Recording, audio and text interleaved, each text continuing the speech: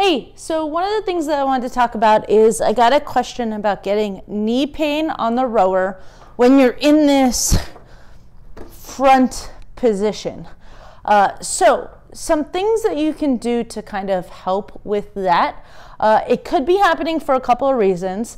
Uh, a lot of times it's happening when people are like me and you have a belly or thicker thighs and you just don't have as much movement or flexibility as you might have or I might have when I was younger. Uh, so, some of the things that you can do to start to work on that is one, or some things to consider, uh, is one, you can actually make it so you move your foot pedals, whether you're on a water rower, an off brand, a Concept 2, doesn't matter. Uh, the foot pedals usually move. Try moving it so your foot pedal is higher, so your heel is higher. So if you try moving this up, it's gonna make it so that you're not scrunched down as much. Uh, I wouldn't go all the way to the top, and it totally depends on you and your machine. I've got some other videos you can check out on kind of the optimal pl placement to start with. Uh, but a good place to shoot for is with the strap around the thicker part of your shoe. So if you're going for, if you're wearing a sneaker, where that initial laces, and I know I'm using one without laces, uh, but where that initial laces uh, is kind of the wider part of your shoe, and you can shoot for that spot. Uh, and that's just kind of a good starting spot. The next thing you can try and do is when you get to this front position, if you're really getting that discomfort from really forcing yourself into that bend, one, just don't bend as far. Uh, if you've got a belly and you find you're moving your legs out to the side, don't worry about how far forward you go. You really want to stay in that comfortable range of bend of what is comfortable for you. So if my whole stroke is from here to here, that's okay. If I were to bend more, I want you to watch how much this, um, this chain moves forward.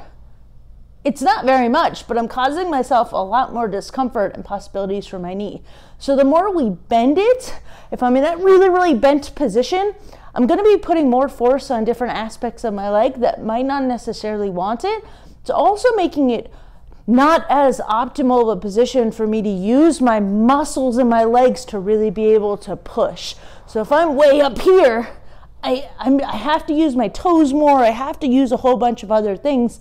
And I'm more likely to lead with my back and my shoulders than actually being in an optimal position. It's kind of like if you're squatting.